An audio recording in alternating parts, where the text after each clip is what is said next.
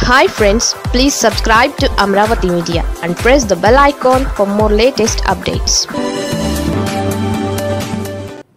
betting రాయుళ్ళకు yellow media tension ఏపీలో polling ముగిసిన అనంతరం ఒక ఆసక్తికరమైన చర్చ ఒక వర్గం మీడియాలో వచ్చింది.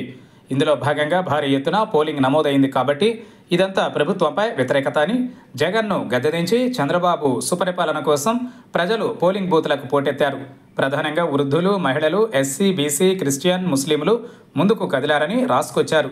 అందువల్లే ఈ స్థాయిలో పోలింగ్ నమోదైందని ఇదంతా ప్రభుత్వ వ్యతిరేక ఓటని ప్రభుత్వంపై వ్యతిరేకత ఉన్నప్పుడే ఈ స్థాయిలో పోలింగ్ నమోదవుతుందని రాబోయేది కూటమి ప్రభుత్వమే అని విశ్లేషణలు కథనాలు వదిలారు.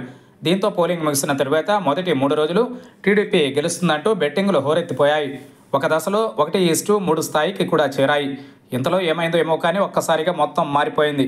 జగన్ విదేశీ పర్యటనకు ముందు ఐపాక్ టీంని కలిసిన అనంతరం చేసిన వ్యాఖ్యల ఫలితము లేక మహానాడును ప్రీ రిలీజ్ ఈవెంట్లా గ్రాండ్గా చేయకుండా అదనపు ఖర్చు మాత్రం ఎందుకు అన్నట్లుగా అంత ప్రతిష్టాత్మక కార్యక్రమాన్ని వాయిదా వేయడం వంటివి ఒక్కసారిగా మూడ్ ఆఫ్ ఏపీని మార్చేస్తాయని అంటున్నారు.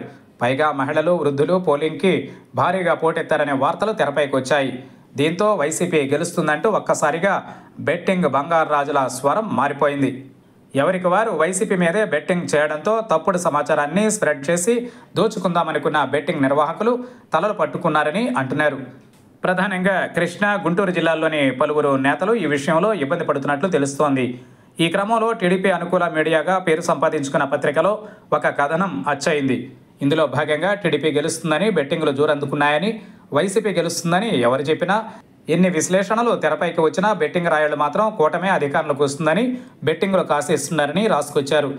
వైసీపీకి డెబ్బై స్థానాలు వస్తాయనే లెక్కపైనే బెట్టింగులు నడుస్తున్నాయని కూటమికి మాత్రం నూట నాలుగు నుండి నూట ఏడు స్థానాలపైనే బెట్టింగ్ జోరందుకుందని రాసుకొచ్చారు. దీంతో ఇది ఒక పసుపు ట్రాప్ అని అంటున్నారు పరిశీలకులు. ఇలాంటి కథనాలు చూసి ఫేక్ ఎగ్జిట్ పోల్ ఫలితాలు నమ్మి సోషల్ మీడియాలో షేర్ చేస్తున్న సర్వే ఫలితాలు నమ్మి బెట్టింగ్లో కాసి జీవితాలు పాడు చేసుకోవద్దని సూచిస్తున్నారు. ప్రస్తుతం ప్రజల అభిప్రాయాలు ఈవీఎం మిషన్స్లో నిక్షిప్తమై ఉన్నాయని జూన్ ఒకటిన ఎగ్జిట్ పోల్స్ రాబోతున్నాయని జూన్ నాలుగున ఎగ్జాక్ట్ పోల్స్ రాబోతున్నాయని గుర్తు చేస్తున్నారు.